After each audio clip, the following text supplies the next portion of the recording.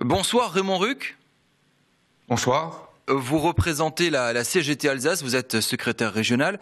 On va parler de Sénerval en grève depuis plus d'un mois, 36 jours exactement. C'est ça. Sénerval, c'est l'usine d'incinération de, de Strasbourg. Les employés réclament des hausses de salaire évidemment et dénoncent la pollution sur le site. La direction dit qu'il n'y a pas de pollution, que les règles sont respectées. Euh, est-ce que vous arriverez à vous entendre? Bah, écoutez, ce n'est pas exact. Hein. La direction affirme peut-être des choses, mais nous, nous disons exactement l'inverse. C'est-à-dire qu'effectivement, le site, lorsqu'il fonctionne, évidemment, aujourd'hui, l'usine est à l'arrêt, mais lorsqu'elle a fonctionné jusqu'au 21 mars, elle polluait effectivement, dans la mesure où les chaudières euh, se sont dégradées au fil du temps et que les investissements nécessaires n'ont pas été réalisés. Donc il y a rejet de cendres toxiques.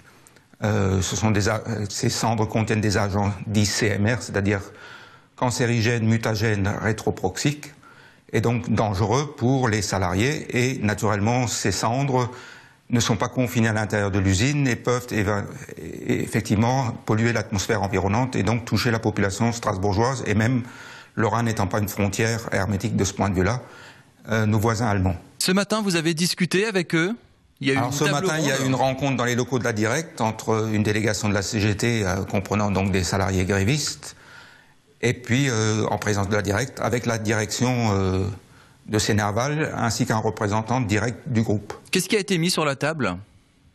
Alors, ont été évoquées les demandes des salariés. Il y a, la semaine dernière, nous avons adressé un courrier à la direction du groupe Séché Environnement avec un certain nombre de revendications que nous avions actualisées. Euh, il y a très exactement 69 points. Nous attendons maintenant une réponse écrite point par point de la direction. Et la priorité pour vous, c'est l'augmentation de salaire ou la sécurisation du site? La sécurisation du site, la priorité. Cela demanderait des investissements immédiats. Alors naturellement, il y a une période, euh, il faudrait un calendrier euh, contraignant et vérifiable qui, sur des investissements, de remplacement des chaudières. D'ailleurs, la direction l'avait évoqué à travers euh, les propos qu'elle a délivrés à la presse écrite locale, les DNA, me semble-t-il, et en laissant entendre que les chaudières seraient remplacées entre mai et octobre. Mais nous voulons des garanties absolues comme quoi ceci sera réalisé.